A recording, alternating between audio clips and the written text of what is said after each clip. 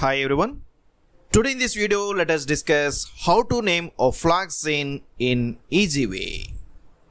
What is the structure of ofloxacin? So this is the structure of ofloxacin and chemically it is a fluoroquinolone. But if you observe it is a modified fluoroquinolone. So the quinoline ring is going to be attached by another ring such that it is going to form a tricyclic compound. And when we try to write the IUPAC name of this ofloxacin, it is not an easy task because now this ring is not a simple quinoline, it is a modified quinoline and we have to follow certain rules in order to write the IUPAC name of ofloxacin. So today in this video, let us see how easily we can write this name by just following few of the IUPAC rules. So in order to write the IUPAC name of this ofloxacin, first of all, let us take the basic ring of uh, this ofloxacin. So this is the basic ring of the ofloxacin without any attachments. So here you can observe the three cycles, so it's a tricyclo compound.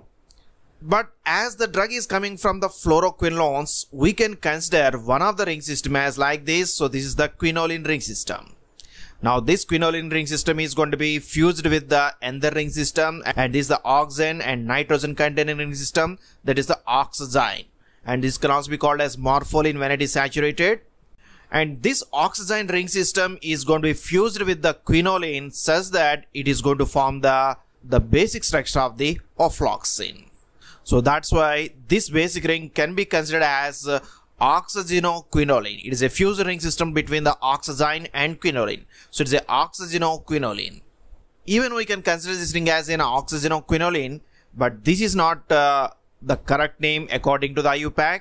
So we cannot use this term while we are writing the IUPAC name of this ofloxacin.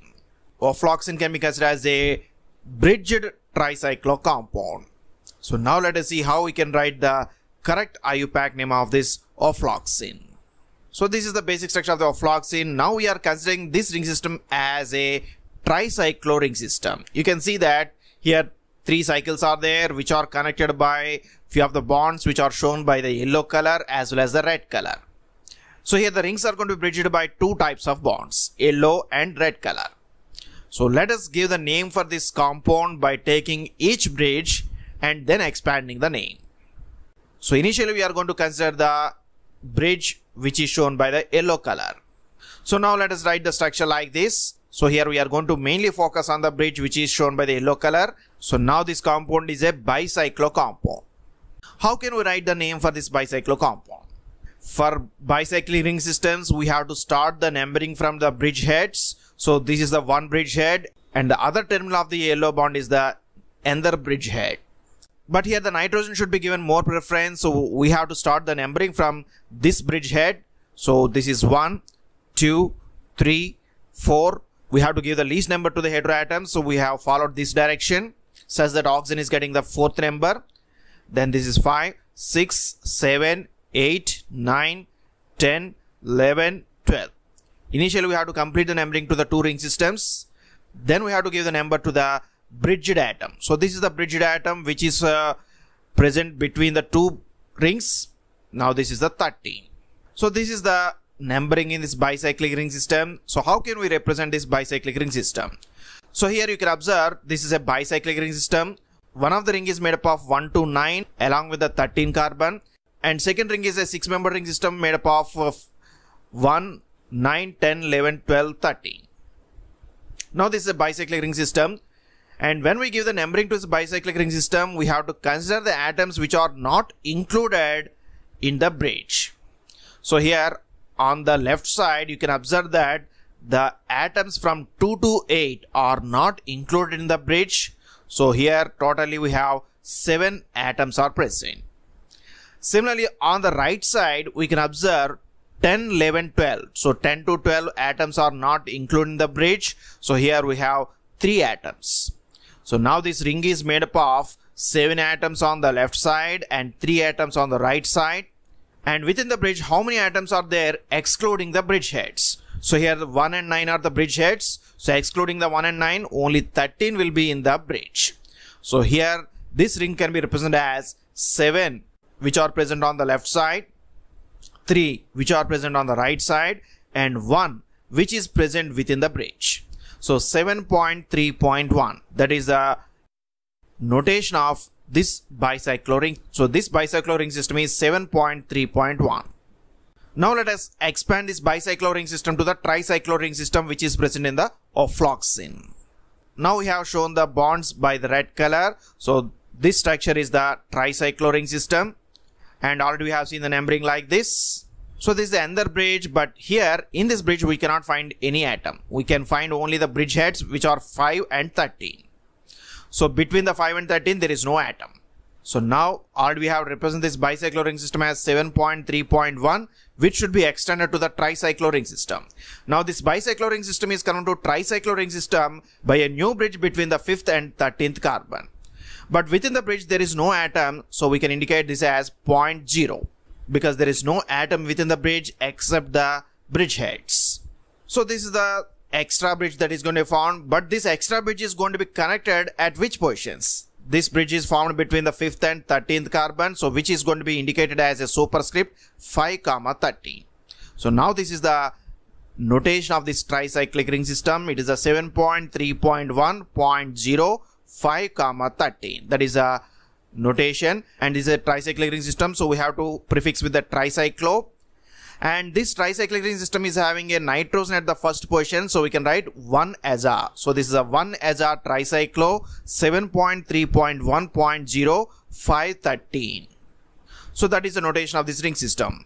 So now by using this notation of this tricyclic ring system let us write the complete name of the ofloxacin so this is the structure of the ofloxacin and already we have seen the numbering like this and here we can observe one of the principal functional group that is a carboxylic acid which is attached at the 11th position. And already we have seen the ring system is the 1-aza tricyclo 7.3.1.0513 but it is totally having the 13 atoms including the central atom. So it can be indicated as a trideca 13 atoms are there. But this tricyclo ring system is having the double bonds at the different positions. We can see the double bonds at the 5th position, 6th position, 8th position and 11th position. So now it can be written as 5, 6, 8, 11 tetraene. We can consider the double bond at any of the edge but we have to take the least numbers. So a double bond is present at the 5 and 13th position. So we have taken the least number 5.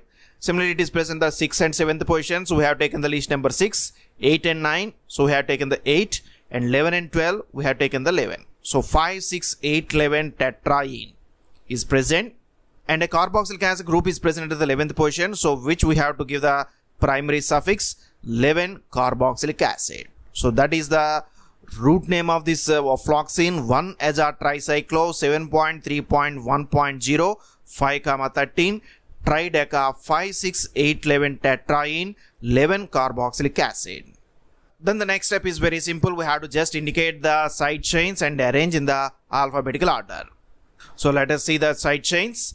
Seventh position fluorine is present. So 7 fluoro. And uh, by arranging in the alphabetical order, second position methyl group is present. So 2 methyl. And sixth position piperazine ring is present, which is having a methyl group at the fourth position. So 6 dash 4 methyl piperazine 1 aryl. This piperazine ring is attached by first position and it is having a methyl group at the fourth position. So 4 methyl piperazine 1 aryl. And uh, 10th position 10th position we can observe a ketone group which is going to be a, uh, indicated with the prefix oxo so 10 oxo but within this uh, ring system we can observe another heteroatom at the fourth position that is the oxygen which can be indicated as an oxa so 4 oxa so these are the other substances present in the ring system 7 fluoro 2 methyl 6 dash 4 methyl piperazine 1 aryl 10 oxo 4 oxa so this entire name should be attached with the root name of this compound. Even oxygen is given more preference than the nitrogen in the heteroatoms, but here we have to start the numbering from the bridgeheads because it's a tricyclo compound, so we have to start the numbering from the nitrogen. In this way, even the name of this ofloxacin looks very complex, but if we carefully observe, we can simply write this name of this ofloxacin. Ofloxacin can be considered as a tricyclo compounds with two bridges one bridge is between the first and ninth atoms and second bridge is between the fifth and 13th atoms. So just by considering this, we can easily write the name of this ofloxacin. So that's about the naming of ofloxacin. Hope you have enjoyed this video. If you like this video, please subscribe to our channel, share this video with your friends, post your comments in the comment box. Thank you for watching this video.